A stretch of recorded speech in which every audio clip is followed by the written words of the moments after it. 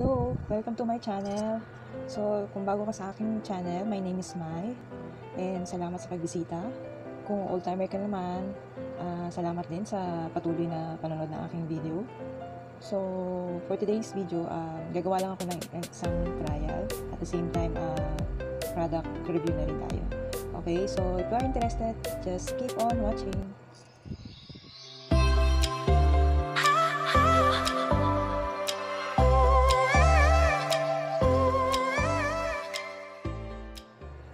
Back.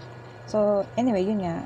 Gaya na sinabi ko, ah, magre-review tayo at the same time, wear test na rin. Um, ito yung si Color Tint Multi-Use Oil Tint by Colorette. So, ito siya guys. So, I have here two shade. Yun, na isa-swatch natin. Ah, medyo na na-curious lang ako dahil nakalagay dito is three-way done white. Yun. So, actually, first time ko siyang gagamitin. Itong si Color Tint. Pero meron akong product, ibang product na Colorette na nabili. Ah, yun yung highlighter ah, powder. Ah, hindi, parang press powder siya na highlighter. Yun na super love ko. That time, ah, naalala ko, ah, online lang siya na nabibili. Na wala pa silang mga stall sa mga mall. So ngayon, ah, every SM meron na silang stall. So, I try it kasi ang daming nagre-review nito ah, about sa color tint na to na maganda naman ang feedback. So, syempre, gusto rin natin i-try at ma-experience. So, anyway, yun nga. Uh, tong product na to is contain of 10, uh, 10 ml. So, ito yung kanyang packaging. Uh, ordinary cardboard lang. Pero, semi-gloss. Semi-gloss. Ayan. So, ito naman kanyang packaging. Yung kanyang laman pala. Tingnan natin. So, ito siya. So, as you can see, nagsiseparate yung product at the same time yung oil. So, bago nyo siya gamitin, i-shake nyo muna ng mabuti. So, so, as you can see, okay na siya. Nagsisettle lang talaga yung oil dun sa formula. So, sabi niya dito, that's it. So, our color tint are multi-use, oil-based tint that may be used on the eye, cheeks, and lips. These tints are true to color, easily blendable and uh, ano to, uh, ultra pigmented with a matte finish. For three-way done right, available in various uh, shades suitable for Filipina skin tone. Sobrang liit kasi nung mga letters, ang anyway, ito nga yung kanyang packaging, then ito yung product. So, bago nyo gamitin, uh, shake it muna. Shake it up. Shake it up real good before application. So sabi niya. So, itong shade na to is Ocean. Once ko lang siya nagamit, guys. Then, ngayon ko na lang dito try. So, ito si Ocean. Ito ni medyo pinaka-light niya. So, ayan siya. Medyo uh, dark brown. Pero kung, as you can see, parang may pagka-orange. Pero brown talaga siya, dark brown. Kaya akala ko, I mean, hindi ko naman siya talaga natatry as in gamitin as in, uh, what do you call this, uh, contour. So, itatry din natin kung pwede. So, sabi niya, dito kiniklaim niya, pwede natin gamitin sa eyes, cheeks, and lips. So, ito yung isang shade. Ito nga pala si Ocean. Yun ang una natin shade. Then, yung pangalawa, tingnan nyo, nagsisettle talaga siya si Lucy. Naghahanap naman kasi ako ng very red na lipstick. So, ganito yung applicator niya. Ayan. So, ito yung bottle. Na-contain 10 ml, pero ang dami na. Parang ang tagal yung gagamitin. So, ito yung color niya. Wow. Diba? Bloody red. Ewan ko lang kung ano magiging kulay pag pinahid natin. Ayan. So, itry natin. Uh, by the way, uh, ang amount niya, I mean, ang presyo niya is 299 each. Sa Watson ko siya nabili. Plastic yung kanyang uh, bottle. Marami pa silang ibang different shade. Medyo mahal nga lang, alam mo na. Medyo tipid-tipid din. As long as makapag-review tayo at the same time na magamit natin o matry. So, nakakatakot gamitin. Like I said, hindi pa ako nakakagamit ng ganito ever since kahit ibang product. Hindi talaga ako fan. I mean, uh, mahilig gumamit ng mga lip tint. Kasi may isang case ako na na-experience na gumamit ng lip tint. Uh, pwede siya sa lips, tsaka sa cheek. Humahawa siya sa ipin. So, hindi ko alam kung ganito rin yun. Pero yun, as I remember, water-based siya. Ito is oil-based. So, try natin gamitin. Wala. I mean, naglagay lang po ako ng BB cream. BB cream lang ang nilagay ko. Then, nag-powder lang ako. Ang gamit kong BB cream is itong si si Pants BB cream ang gamit ko. Yun lang. So, wala na akong ginamit. Yun lang. Cream. So, natatakot akong gamitin. Kailangan ko na salamin. Isang dot lang siguro ang ilalagay ko. So, i-blend. Itatap-tap ko lang. So, kailangan pa ata natin maglagay uli. Basta konti-konti lang guys ang paglalagay. Kasi masyado nga siyang pigmented to. Nakadalawang dot lang ako. Nakadalawang. Hindi na ako nagsasaw, so sinisimot ko na lang to kaya nag-triple or tinatap-tap ko lang. Kasi as I observe, mentras na biniblend mo siya, medyo pumupula siya. Ang ibang kulay. So, not bad. Pwede siyang maging eyeshadow. So, ngayon, itry naman natin sa cheeks. So, dito ko kinakabahan talaga sa paggamit ng sa ating cheeks. Hindi ko alam kung ilang data ilalagay ko. Kasi, pero, dahil nga pigmented siya, siguro isa lang. Yeah.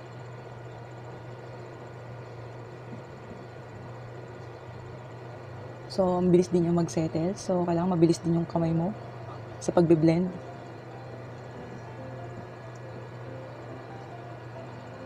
So, sa kabila.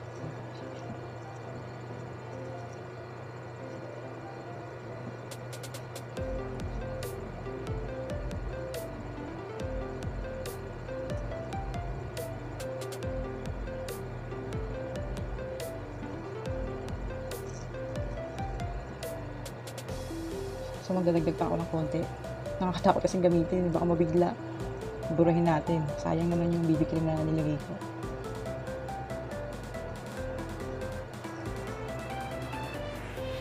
So, bilis niyang i-blend.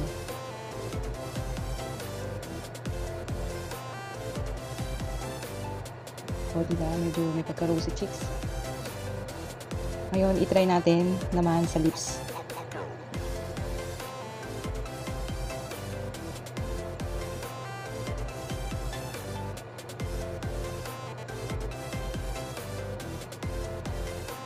Very natural, di ba? Ang kulay.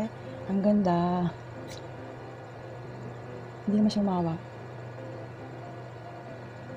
Di ba? Pak na pak. Ang ganda. Very natural.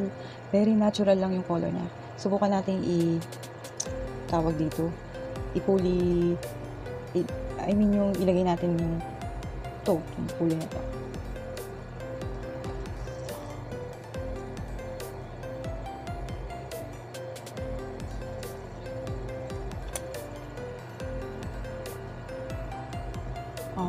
Kahirap na hirap na ilagay. As in, ang dulas niya dahil niya siguro oil base. So, ang dali niyang ilagay. Walang struggle na nangyayari. Then, mabango din siya. May amoy siya pero very mild. May amoy, may scent, pero yun nga, very mild.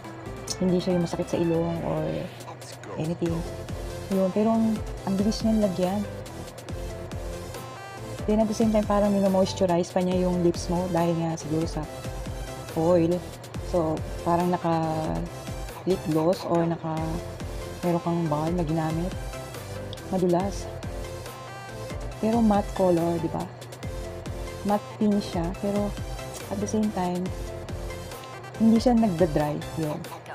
Yan, so ito si, ang kulay nito is si Ocean. Parang gusto ko pa itry yung ibang ibang color bibili, bibili tayo niyan pag naka, nakalabas na tayo. So, itry din natin tong isa. Isang color niya, si Lucy. Yung pinakita ko kanina na super red. Kukuha lang ako ng uh, uh, wet ones. So, gagamit lang tayo nito na makeup remover. Tingnan natin kung madali siyang tanggalin. Lalo na sa lips. Pero ang ganda niya, di ba? Morena, morena. I mean, pwedeng pwede siya sa mga nagmamadali or alam mo na yun, yung gusto mo lang lagyan ng kulay yung mukha mo para maging presentable naman. Subukan natin tanggalin. Ay, panalo. Ang bilis niyang tanggalin. Mm. Yan, so try natin si Lucy. Nasaan ka na Lucy? Kaya ito, si Super Red. May hinahanap kasi akong ah, red lipstick na, alam mo yun, yung kulay dugo. I mean, yung parang black red na parang kulay dugo. Yun yung hindi ko makitang color ng lipstick. So, try muna natin sa mild color.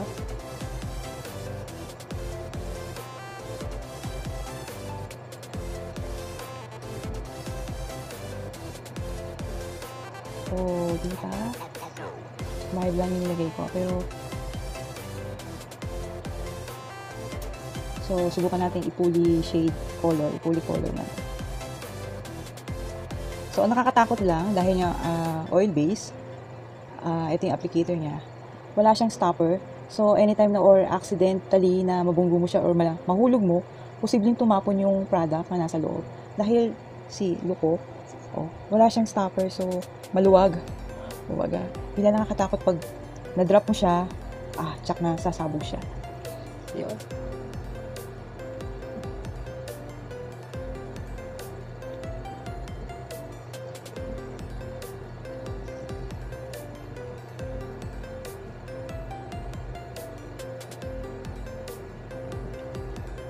Di ata pantay yung lagay na lipstick ko.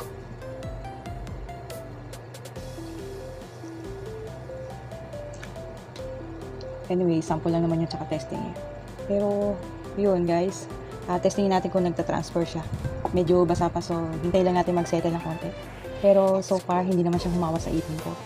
Pero grabe yung pigment, yung pigmentation niya ha.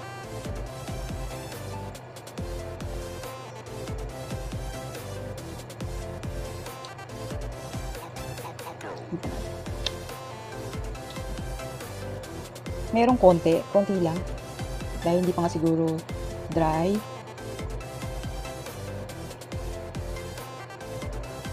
Mabilis naman siya matuyo. Yan. Meron talaga siya, konti. Pero, okay naman.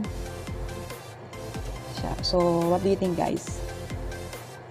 Okay, so para sa ating final thoughts. Pero testingin pa rin natin. Magbibigay pa rin ako ng feedback regarding kung gaano katagal ah, nag ah, kung, kung gaano katagal or last lasting na nasuot natin to. So, sa ating final thoughts for today, so para sa akin okay siya. Sa packaging, check. Sa price, uh, check. Dahil dito sa gantong karaming product, matagal mo na itong magagamit ha. Dahil sa sobrang pigmented niya, as in dot dot lang ang gamitin mo. Very blendable na siya at very pigmented. So, unti-unti lang ang gamit. So, ah, siguro tatagal ito sa'yo na more than 2 months. I'm sure. So, yun. So, okay din sa akin. Ah, okay sa akin yung price sa ganito kalaki. Sa makikita mo naman na very pigmented. Yan. Then, uh, suit for uh, all Filipina skin tone. Then, very um, lightweight. Walang struggle. Then, hindi rin nagpi-flaking. Parang, yung bang parang nadadry. Yun, ayoko sa lipstick ng ganun. Uh, at the same time, love ko lahat ng color. I mean, love ko yung color na ko. So, pwede rin natin itong pang everyday use. Gaya na nasabi ko, perfect to sa mga working mom na nag, ah, nagmamadali palagi. So, maglagay ka lang ng isang color na favorite mo. Okay ka na the whole day. Yun. So, ano pa? Yun. So, hindi rin siya nagka-transfer, di ba? Meron lang konti. So, hindi siya transferable. Konti lang, very minimal. Hindi mo nga mapapansin eh. Yan. So, that's all for today. So, maglalagay na lang din ako ng comment kung gaano katagal itong ah um, kung, gaano katagal siya nag-last. I mean, yun. Ah, dahil maya-maya lang is magdi-dinner na kami. Okay, so far, I like it and I recommended it to all working uh, working woman. Maglagay ka lang talaga ng isang product sa bag mo. O, perfect ka na. Okay, so that's all for today, guys. So, kung nagustuhan mo itong video na to, please don't forget to give me some thumbs up. And don't forget to share, like, and subscribe my video And don't forget din na i-click yung ating ah, notification bell para if ever may bago tayong video, mananotify ka. Yun, so again, stay safe pa rin. So wala tayong gagawin sa labas, stay home na rin and be safe guys. So thank you for watching and see you on my next one. Bye!